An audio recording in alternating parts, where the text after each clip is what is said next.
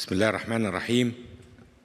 فخامة الرئيس عبد الفتاح السيسي رئيس جمهورية مصر العربية أصحاب المعالي السيدات السادة الحضور. بداية أود أن أرحب بكم جميعا في واحدة من المنصات الأكثر أهمية على ساحة الطاقة الإقليمية والعالمية مؤتمر ومعرض مصر الدولي للبترول إيجيبس. في نسخته السادسة والذي لم يلبث أن أصبح في فترة وجيزة قبلة لكل مهتم بصناعة البترول والغاز. ومن هنا أتقدم بخالص الشكر لفخامة السيد الرئيس عبد الفتاح السيسي رئيس الجمهورية الذي أضفت رعايته الكريمة وتشريف سيادته بصمة مميزة في نجاح المؤتمر.